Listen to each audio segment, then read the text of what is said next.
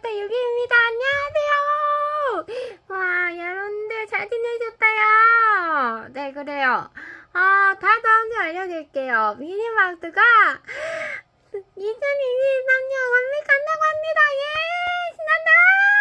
도깨비리시에 그 뭐였더라? 음, 2020년 그때가 기억나세요? 그래서 공연을 한다고요! 아! 너무 이쁘고 너무 신나요. 그리고요. 음. 아, 참, 또 있어요, 저는요. 어, 설날에 산도 가요. 설날에 산도 갔는데, 어, 아마 저녁 늦게 하지 않을까 싶어요. 왜냐면, 산소에는 예배를 진행하기 때문에, 저녁까지 밥 먹을 가야 되니까, 아!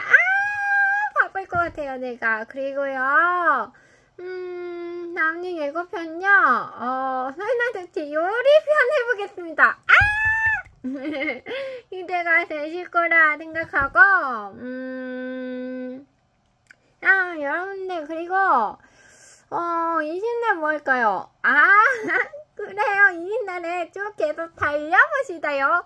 어, 그리고, 선생님 날에는, 어, 하나 하이라이트 보여드릴게요. 그럼, 감사드리고요.